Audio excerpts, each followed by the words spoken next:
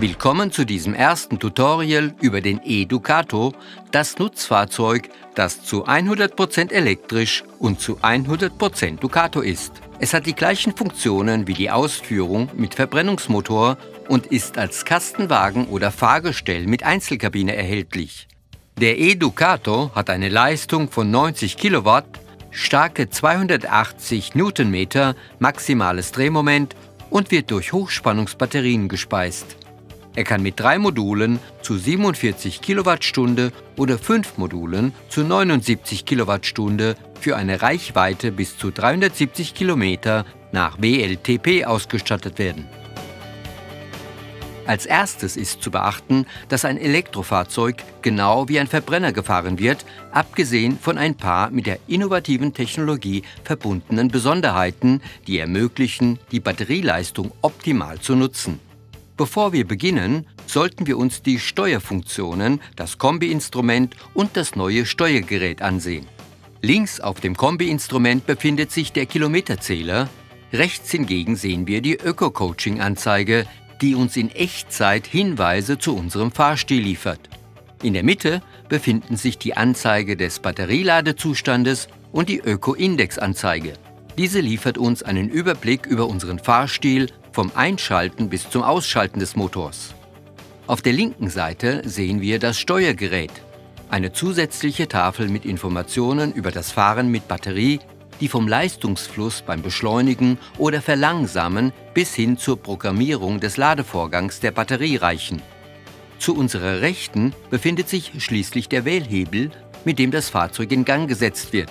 Die Funktion E-Coasting und die Funktion E-Sailing aktiviert und der Rückwärtsgang oder Leerlauf N eingelegt werden kann. Wenn das Fahrzeug stillsteht und der Wählhebel auf Leerlauf N geschaltet ist, sorgt die Sicherheitsfunktion Hold H für die Aktivierung der automatischen Bremse, sobald der Sicherheitsgurt gelöst und die Tür auf der Fahrerseite geöffnet wird. Zur Sicherheit sollte jedoch zusätzlich immer die mechanische Handbremse betätigt werden. Bitte beachten Sie, dass Sie sich vor dem Start des Elektromotors anschnallen. Wenn wir nun den Elektromotor starten, fällt uns zuallererst auf, dass wir nichts hören. Mit dem Wählhebel in der Leerlaufposition N dreht man den Schlüssel zunächst auf Key On zum Einschalten des Kombi-Instruments und dreht ihn dann bei gedrücktem Bremspedal noch eine halbe Drehung weiter. Das Fahrzeug ist startbereit, wenn auf dem Kombi-Instrument der Hinweis Ready erscheint. Indem man den Wählhebel in die Position D, Drive, oder R, Rückwärtsgang stellt, kann man dann losfahren, jedoch erst nachdem man die Handbremse gelöst hat. Ist der Sicherheitsgurt nicht angelegt, fährt das Fahrzeug nicht los, wenn der Wählhebel auf D oder R gestellt wird.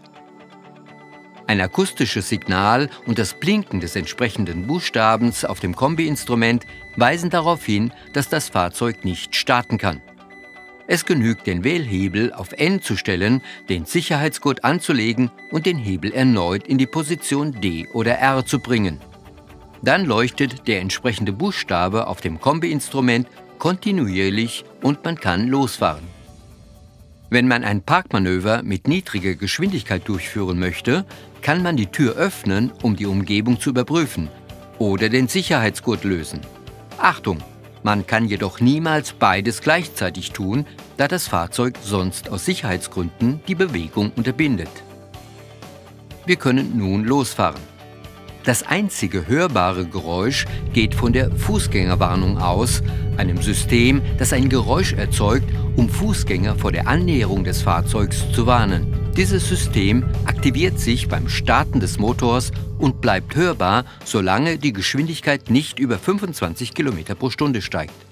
Ein erster positiver Eindruck, den man am Steuer erhält, ist die gute Beschleunigung des Motors, eine für den Elektroantrieb typische Eigenschaft, da dieser sofort das gesamte Drehmoment zur Verfügung stellt.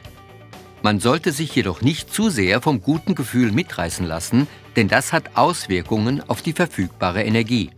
Bei einem Nutzfahrzeug bedeutet die sofortige Verfügbarkeit des gesamten Drehmoments nicht nur ein höheres Fahrvergnügen, sondern vor allem, dass der Motor auch bei voll beladenem Fahrzeug und auf jeder Strecke schnell anzieht.